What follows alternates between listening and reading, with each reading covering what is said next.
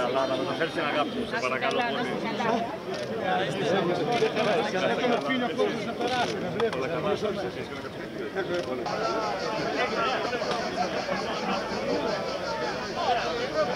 πολύ. Μέχρι την τελευταία στιγμή θέλει δουλειά. Ελπίδα. Να είσαι καλά. Μακριά μας, αν δεν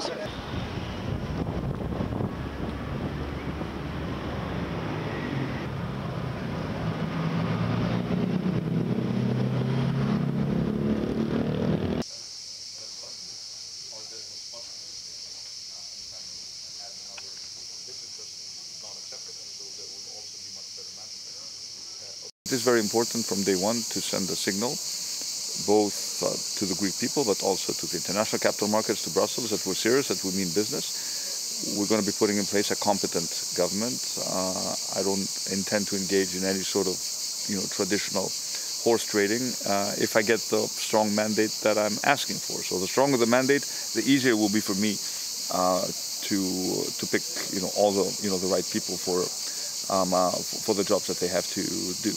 So it's going to be it's going to be a full summer for us, no holidays.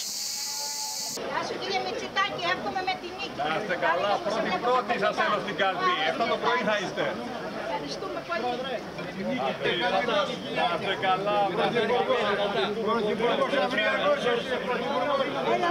Greece has delivered excess surpluses over the past years for the simple reason that Mr. Tsipras decided to overtax the middle class.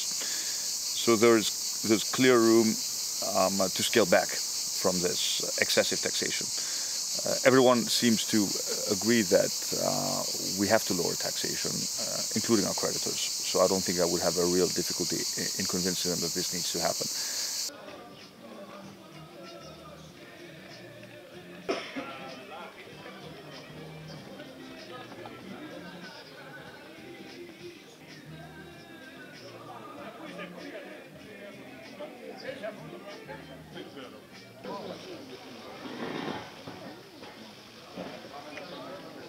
I will be having an honest discussion uh, with uh, um, uh, with our partners about uh, reducing uh, primary surplus targets. They are too excessive. The reason why they were put in place had to do with the fact that there was zero confidence uh, in Mr. Tsipras and unfortunately in, in Greece to deliver reforms. A committed reform-oriented uh, uh, government should have more leeway Uh, in negotiating a slight reduction in primary surpluses, which is very important to us because it will allow us to further cut taxes. And at the end of the day, it could be a win-win scenario because it will help growth.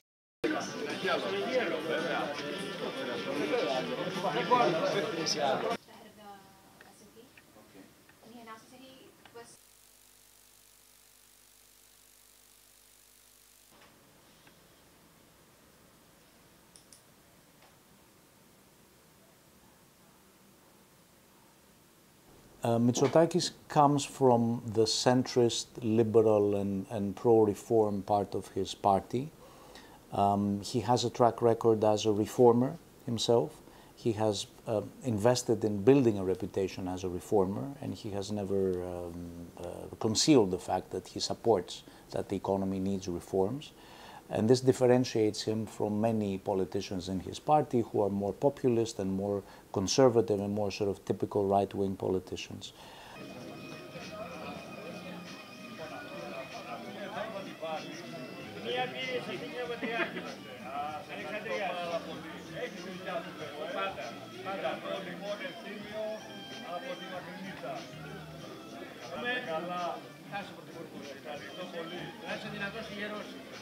I think it is fortunate for Mitsotakis that he comes after Tsipras, who came to power um, riding on his charisma and riding on overpromising things that were not achievable. Uh, what Mitsotakis brings is different, or even the opposite of that. Um, he has a pragmatic agenda. Uh, he does not overpromise.